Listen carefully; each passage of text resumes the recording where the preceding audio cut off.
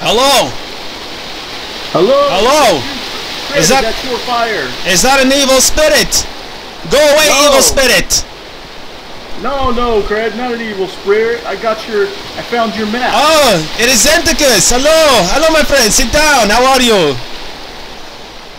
I am fine. Let me sit down. Good, you found my invitation, did you? Good, come sit down, sit down. Right. I'm here because a long time ago we were going through the Black Forest and they all wanted to hear the Black Forest story. And I would not tell the story because the sun was high.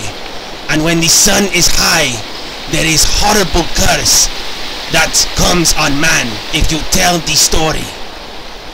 And now that it is dark and there is campfire, I say that we must tell around campfire back then.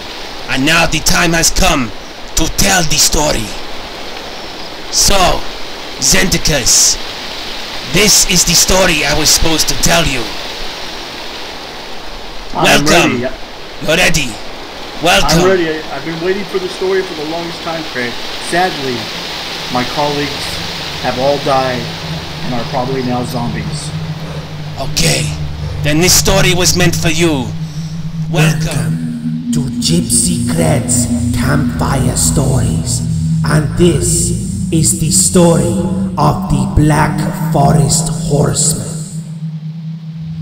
Back in the time of kings and swords, there lived a lord called Sir Bartek Borowski. And he lived in a beautiful castle with a happy wife and happy son. But this was not to last. As a horrible plague swept through the land, the villagers began to die and starve in their homes. One morning, the Lord was called down to Gorka. The villagers had caught the witch who lived in the Black Forest. They thought that she was to blame for the people's suffering, and she should be burnt at the stake. But Sir Bartek knew the witch was good of heart and harmless, and convinced the villagers to let her go. The witch thanked Lord Bartek and vanished into the woods. Two weeks later, the plague had spread to the Lord's castle. Its insidious pestilence tore the life from the guards to the servants and to even the Lord's wife and child. Lord Bartek shut himself away in his grief and despair. He prayed to God to deliver his family back from the void.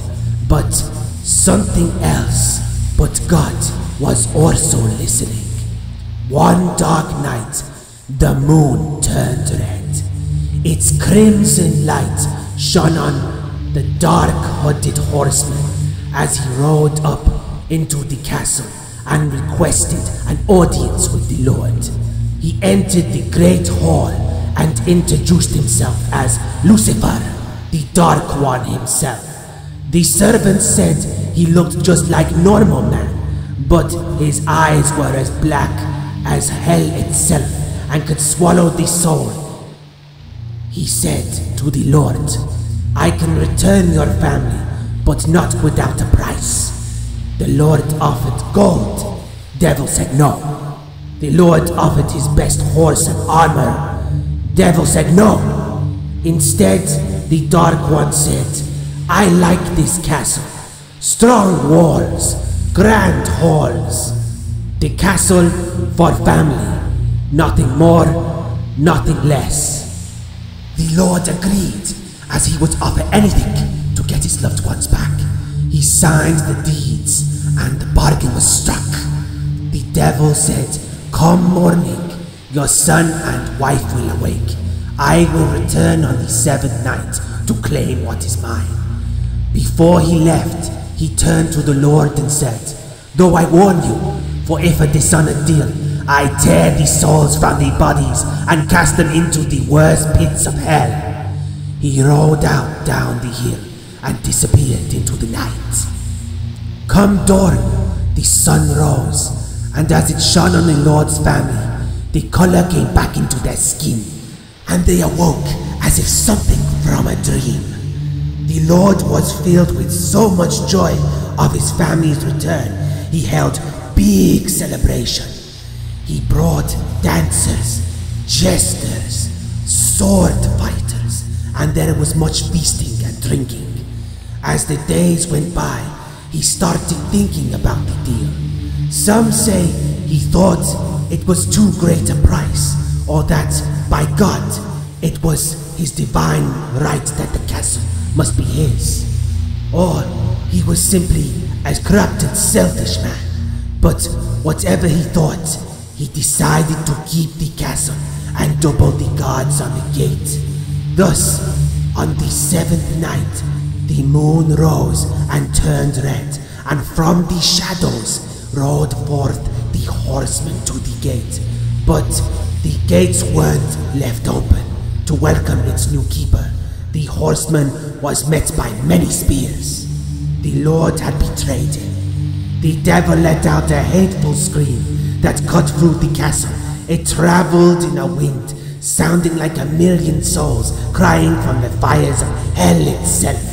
When it swept into the great hall, the Lord's wife and son began to scream, and to everyone's horror, their skin turned black and started to fall away.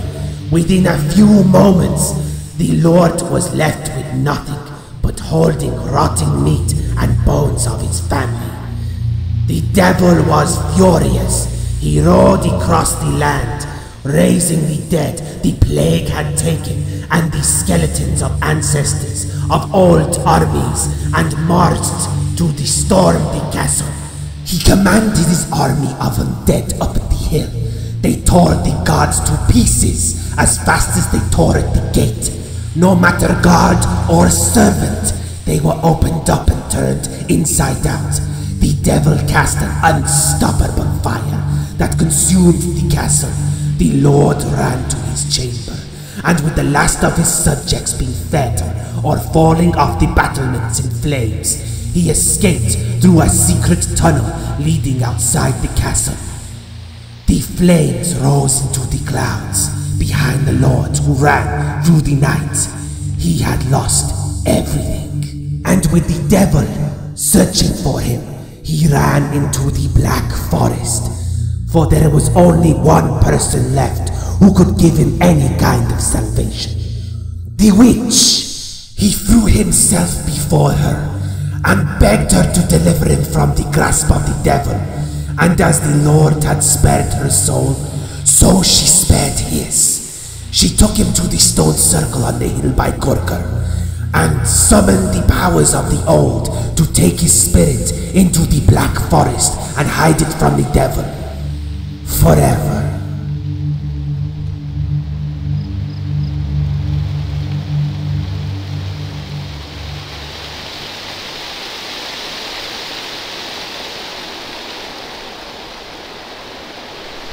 So, to this night, Lord Bartek has not been found for the devil, but the castle now lies in ruins, and it has a horrible name, the Devil's Castle, for it is the devil who did really did claim the castle in the end. And every night they say, hooves can be heard coming down from the castle, and a shadowy horse figure goes into the woods to try and find Bartek, to drag him in to the pits of hell, to make sure he pays his price. But if you say it in the light, the horseman can hear you, and he can see you from the woods, and to be seen from by the devil is a curse in itself. That is why it must be seen in the dark. The, the story must be told, so that the devil or any demon cannot see you. And that is the story of the Black Horseman. Oh man. Now that I know the story, Cred, I'm be thinking about this every day, every time I walk through this forest. Good. Now you taking heed. I know that you probably wanted not to hear the story. But it's as they say, curiosity kills the cat. In life, there are some stories you want to hear, and some stories you wished you hadn't heard. And that is the price. But remember, never tell the story when the sun is high, for you will be cursed.